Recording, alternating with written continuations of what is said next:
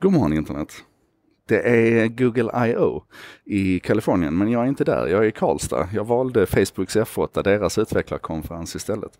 Men det går ju att följa på nätet och det tycker jag vi ska göra allihopa för att Google är ju fortfarande en, en väldigt central del av vårt internetliv. Och i synnerhet nu känns det som att Google eh, pratar väldigt mycket om det Google vi känner bäst, alltså sökresultatets Google. Och det var många lanseringar runt just sök och vad som ska hända där. Um, och det var alltifrån väldigt högteknologiska grejer som jag tycker är superspännande, eh, där man implementerar AR i sökresultatet. Så att du kan söka på en soffa ifrån IKEA till exempel och sen direkt genom kameran i telefonen kan du placera in den i rummet. Du kan fortsätta din sökning och titta på alternativ och andra färger och så vidare. Det är ett sätt som vi kan se det. Och jag, jag tror vi ska ha klart för oss att Google genom sin insyn i Pokémon Go har sett kraften i augmented reality, alltså att vi inte behöver stora VR VR-glasögon och sådär utan att vi kan använda kameran i telefonen för att titta igenom och blanda den digitala upplevelsen med den verkligheten som vi har utanför oss. Skitspännande. Ett annat exempel på hur man använder kameran i sökresultatet är att man nu tar hela Google Lens-konceptet och flyttar in i sök som det, som det känns i alla fall.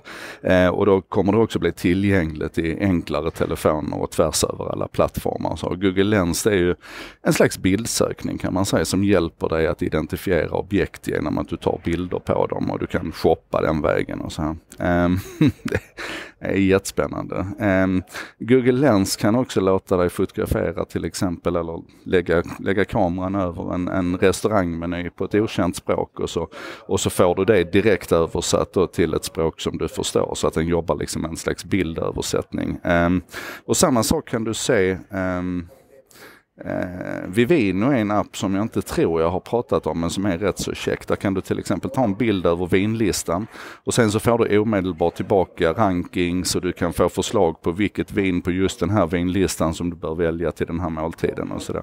Eh, och det känns som Google är på väg lite grann i den riktningen också, onekligen.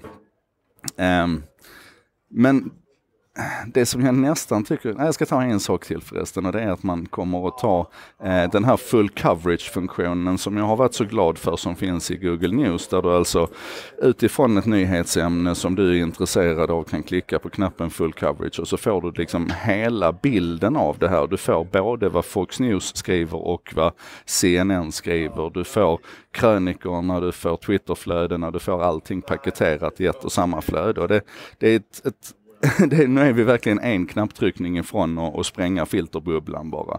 Och när den då flyttar ifrån separat i Google News och flyttar in i ditt vanliga sökflöde istället, så tror jag att det kommer att göra underverk för, låt oss kalla det för allmänbildningen.